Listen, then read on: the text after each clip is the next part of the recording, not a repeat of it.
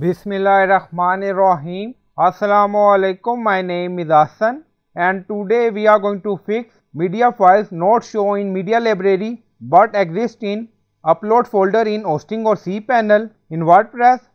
Before starting work it's my request please subscribe my channel. Thank you. Now back to our work.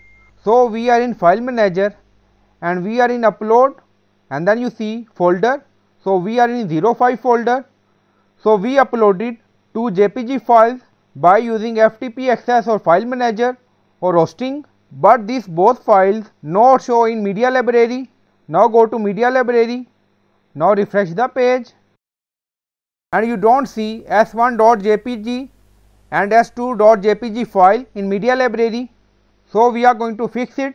So when you upload large file using FTP then that file not register in database.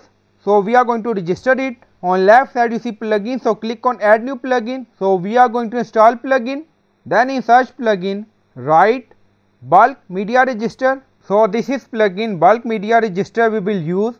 So click on install now and then click on activate it. Now plugin is activated and refresh the page.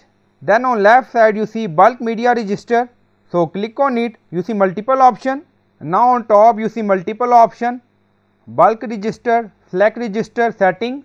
So we added two files.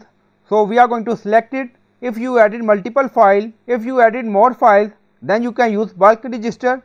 Now we are going to select register. So click on it. Then scroll down. You see path, and then you see drop down. Now select your folder. So we uploaded file in 05 folder. Now select, and then you see drop down all extension. You see multiple option if you want you can select all extension or if you want you can select specific file format. So we uploaded JPG file. Now we select JPG and then scroll down. You see s1.jpg and then you see s2.jpg also you see date and time. Now select. We selected both file and then you see register button. So click on it. Now you see bar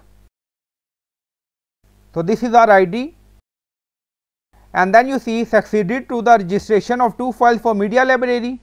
Now go to media library. Now refresh the page.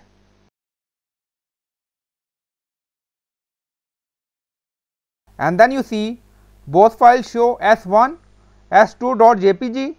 So, we uploaded this file using FTP and then we register this file on WordPress database using plugin so I hope you like this video. Please like, comment, share, subscribe. Thank you for watching.